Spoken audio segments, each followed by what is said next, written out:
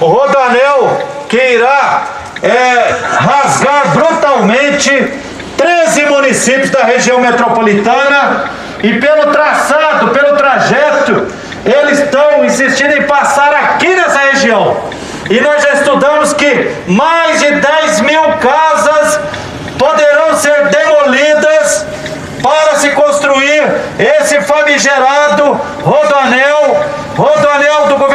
Zema e da Vale, que é uma obra eleitoreira, rodoanel do governador Zema e da Vale, que é uma obra faraônica, ecocida, porque matará o meio ambiente, rodoanel do Zema e da mineradora Vale, que é uma obra faraônica hidrocida, porque poderá acabar com muitos mananciais que são imprescindíveis para o abastecimento público.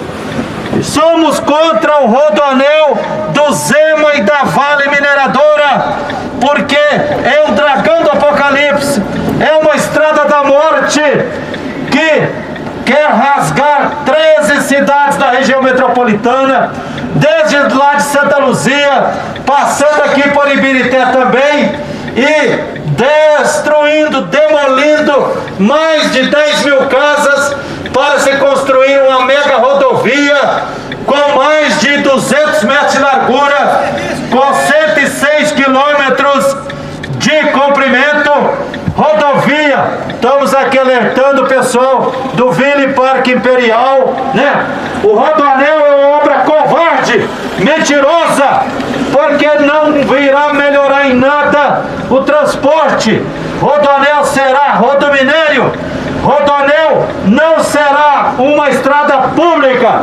Rodoanel será uma obra, uma estrada privada com pedágio mais caro do Brasil. Para se atravessar o rodoanel, só para ir, você terá que pagar acima de 35 reais de pedágio. Se voltar, mais 35 reais. Quem é de classe média ou classe trabalhadora que pode pagar 70 reais de pedágio por dia para ir trabalhar e voltar, voltar. Então a solução para resolver o problema do transporte, da tráfego, da mobilidade em BH região metropolitana não é construir rodoanel. Rodoanel só beneficiará as mineradoras. E o Redoanel também vai devastar a agricultura familiar e as hortas da região metropolitana e aqui de Ibirité também. Estamos aqui ao lado da Unidade Básica de Saúde do Barreirinho, alertando toda a população para a necessidade de entrarmos para o movimento contra o Rodoanel na região metropolitana. Rodoanel do Zema, Rodoanel da mineradora Vale, que além de demolir e destruir mais de 10 mil moradias, ele vai também devastar fortemente a agricultura familiar, porque vai devastar o meio ambiente.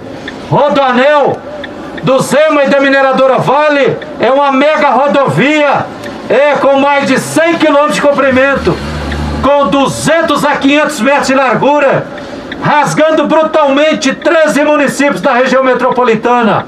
E aqui em Birité, onde tem o celeiro aqui de agricultura familiar, nas hortas, isso aqui poderá deixar de existir caso o governador Zema construa aqui o Rodanel, que terá uma devastação gravíssima aqui nessa região. Bom dia a todos e a todas. Nós estamos aqui neste local maravilhoso, essa horta aqui de Birité que existe há décadas. É por aqui que várias pessoas, é, por este meio, é, se sobrevive desse trabalho. Aqui eles abastecem também né, a população de Belo Horizonte com cebolas, enfim, produtos que saem dessa maravilhosa horta. Alimentos saudáveis. Alimento saudável para toda a população. Mas, infelizmente, este local aqui pode deixar de existir porque existe um projeto insano do governo do estado de Minas Gerais, Romeu Zema, Romeu Zema, que é a construção de um famigerado rodoanel. Todos nós sabemos que a intenção do governo do estado não é o de beneficiar a população que precisa de mobilidade urbana, e sim de beneficiar os grandes empreendedores da mineração.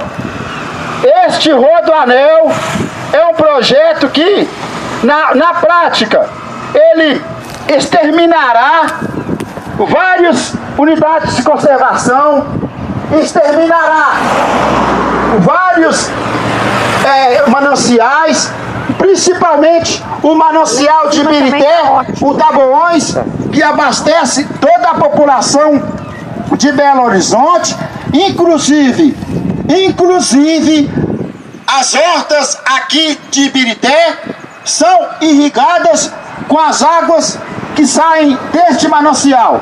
Então, pessoal, a primeira, é, o primeiro ato, a primeira estação que tem que sair é daqui dos proprietários desta, desta fonte de renda. É nítido que, com este projeto, o governo não pretende beneficiar os pobres, como já dito, e sim os grandes empreendedores da mineração, porque será um projeto, uma obra que é, beneficiará somente os empreendedores da mineração, o, o, o seu pedágio por quilômetro, quem usará este trajeto são somente as pessoas que têm a condição financeira melhor, porque cada quilômetro custará 35 centavos para a população que passar por ele. Então, se você somar 35 vezes o trajeto do início ao fim, 35 centavos, vezes 100, você gastará na ida e na volta Vamos 70 subir. reais por dia, além de um valor é, escaldante e é, sem, sem, sem, sem nexo nenhum. Pedro. É que é o valor que está custando o preço do combustível. Então, pessoal, em resumo, Pedro, é uma obra vem falando, que beneficiará único e exclusivamente os donos da mineração. Esta obra, pelo projeto do governo do estado, ela terá 200 quilômetros, 200 metros de largura de um lado e do outro, que é em contrapartida nesta região, nesta região está previsto a saída de mais de 3.500 moradias. Então, pessoal, mais de 3.500 moradias terão de ser retiradas por causa da ideia do governo desta obra insana.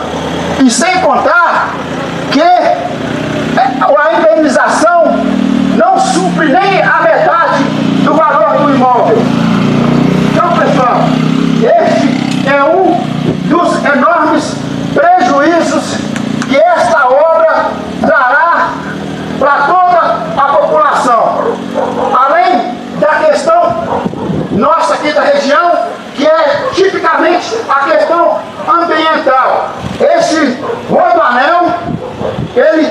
destruirá vários mananciais que existem aqui na região, como por exemplo o manancial Tabolões, que abastece toda a população aqui da região de Birité, com as águas que saem de lá, também a população da região metropolitana de Belo Horizonte,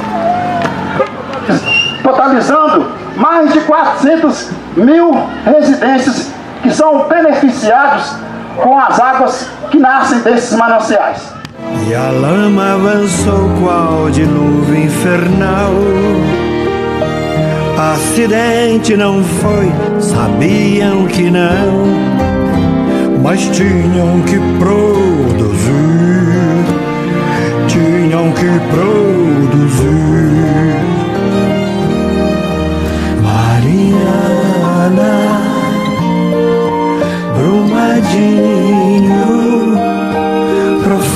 se falaram,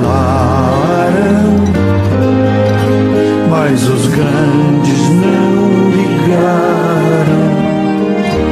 Profetas falaram